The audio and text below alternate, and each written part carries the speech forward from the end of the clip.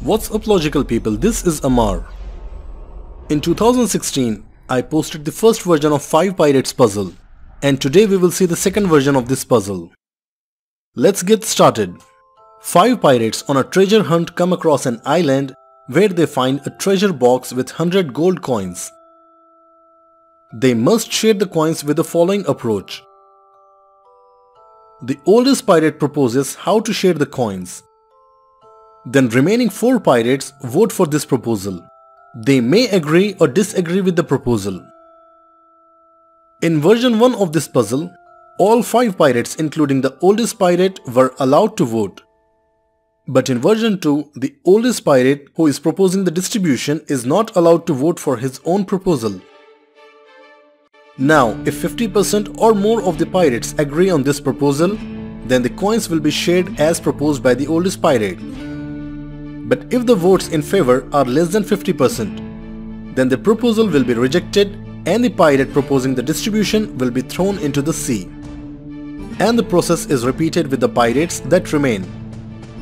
Oldest pirate proposes how to share the coins, remaining pirates vote for or against it. 50% or more votes in favor, proposal will be accepted.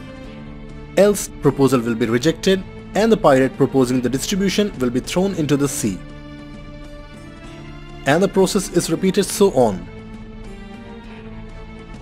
All five pirates are intelligent. They can think from the perspective of other pirates. They are greedy for every single coin they can possibly get.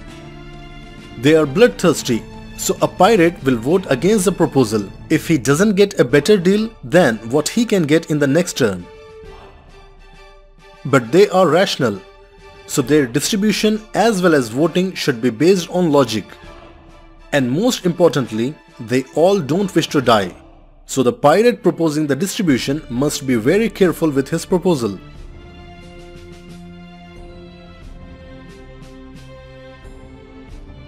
What would be the best distribution by the oldest pirate? Pause for a while and think logically.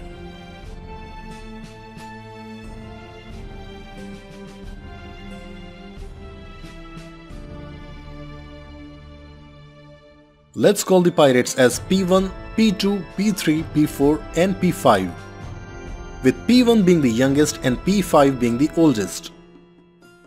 To solve this kind of complicated puzzle, you should minimize the number of objects. So we will start with a scenario where there are just two pirates on board. P2 is the oldest pirate in this case, so he has to propose a distribution.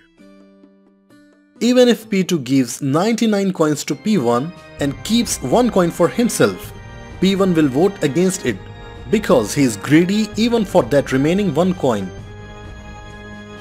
That's why P2 saves his own life by sharing the coins in such a way that P1 gets all 100 coins and P2 himself gets nothing.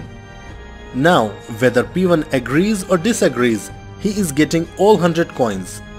But since he is a rational person, he analyzes that there is no point in killing P2, so he simply agrees on this deal. 50% or more votes in favor, the proposal is accepted. Next scenario with 3 pirates. P3 is the oldest pirate to propose a distribution. He analyzes the scenario that if he dies, there will remain only 2 pirates on board. And in that case, the poor guy P2 will get nothing. Now, P3 is an intelligent and rational distributor. So he realizes that if he gives one coin to this greedy and poor P2, he will definitely get one vote in favor. Since one vote is all he needs, so he gives no coins to P1 and keeps 99 coins for himself. P1 rejects the deal but P2 agrees with the deal. So 50% votes in favor, proposal is accepted. Next scenario with 4 pirates on board. P4 is the oldest pirate proposing the distribution. He also analyzes the scenario that if he dies, the situation with 3 pirates will look like this, where the poor guys P1 and P2 will get 0 and 1 coin respectively. So P4 takes the advantage of this situation and gives an extra coin to the poor guys P2 and P1 each so that he can get 2 votes in favor and he gives no coins to P3. So he distributes the coins as 97, 0, 2, 1. P1 and P2 will accept the deal and P3 will reject it. But more than 50% votes are in favor so proposal is accepted. Now the last and actual scenario with all the 5 pirates on board. P5 is the oldest pirate proposing the distribution. He also analyzes a scenario that if he dies, the situation with 4 pirates will look like this, where the two poor guys are P3 and P1 with 0 and 1 coin respectively. If P5 gives P3 and P1 an extra coin each, they will definitely agree with the deal. So he gives 1 coin to P3 and 2 coins to P1 and he keeps 97 coins for himself. P3 and P1 agree upon the deal even though P2 and P4 disagree but 50% votes are already in favor, so the proposal is accepted. So the oldest pirate distributes the coins as 970102. Hope you guys enjoyed, please like and share the video and if you are new, please subscribe to my channel and don't forget to press the bell icon to stay updated with a new logic every week. Till then, try the first version of Pirates Puzzle. Also check out interview riddles on my channel Logically Yours.